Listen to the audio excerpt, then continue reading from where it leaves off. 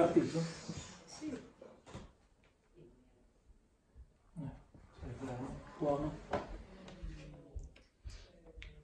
Beh, questa insomma è un'anteprima acustico del nuovo disco di Gino Marchitelli. No, prima spieghiamo. Spieghiamo. Sì, più o meno c'è. Allora, però proviamo insieme a immaginarci questa cosa al di là delle- dei telefonini, no? Proviamo a pensare a una donna sui 50 anni che è cresciuta in questa casa di campagna, non ci interessa dove è la campagna, può essere in Emilia, può essere in Meridione, non, ha importanza. Cresce, parte, andrà a vivere da un'altra parte, studia, si fa la sua vita, eccetera, eccetera. A un certo punto torna, i suoi non ci sono più, e torna in questa casa.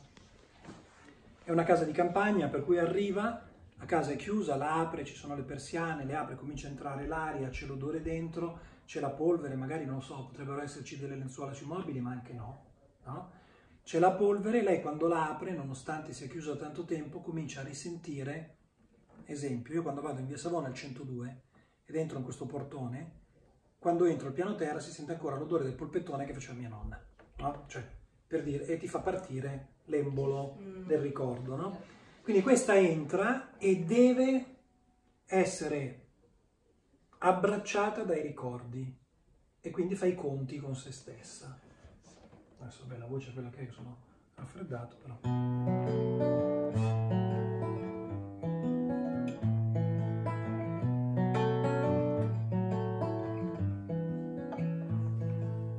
Dipende dai ricordi nel niente. Da foto vecchie ingiallite, consumate dal tempo. Tuo padre e i suoi tormenti. Tua madre lo sguardo smarrito nei suoi silenzi. E tu a inseguire i tuoi sogni, ricordando di lontani parenti solo gli occhi da vecchi.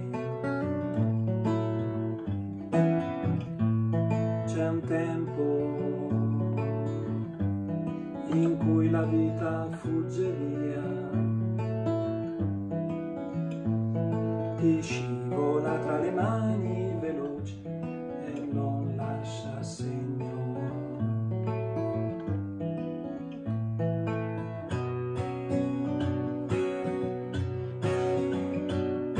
Fantasmi che giocano sui muri ragni che invadono l'ambiente e ricordi che scivolano via.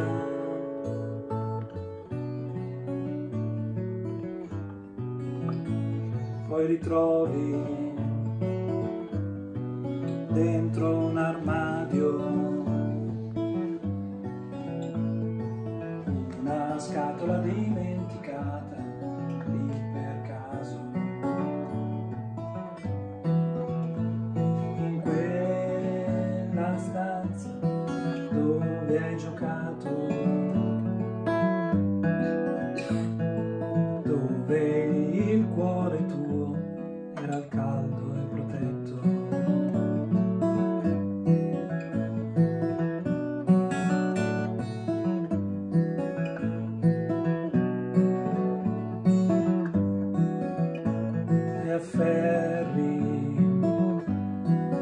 la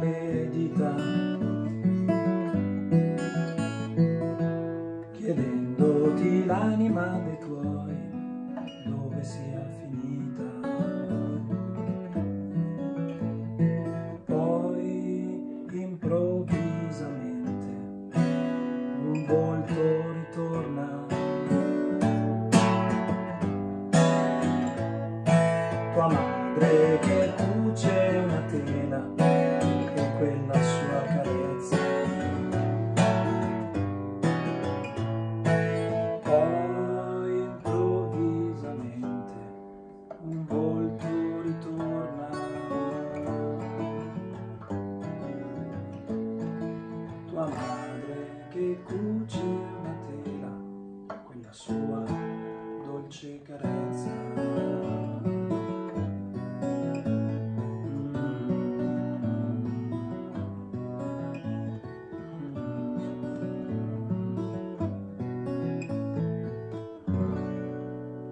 Cioè, deve essere